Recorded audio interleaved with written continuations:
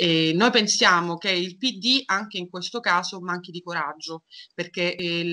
mm, purtroppo mm, accettare un ricatto di queste dimensioni, eh, perché di, di, ricatto trattasi, eh, è qualcosa che noi non, non ci siamo sentiti di, di, accettare categoricamente, perché chiunque abbia anche una benché minima con, concezione di che cosa sia la democrazia rappresentativa non può accettare una situazione del genere. Non ci vengono a raccontare assolutamente che questa cosa possa essere essere in qualche modo arginata, il rischio possa essere arginato da una legge elettorale, perché le leggi elettorali possono modificarsi in qualsiasi momento, le leggi elettorali si modificano, le leggi elettorali cambiano, la storia dell'Italia ce lo racconta con quanta facilità cambiano le leggi elettorali. Un provvedimento del genere, un, una riforma costituzionale rimane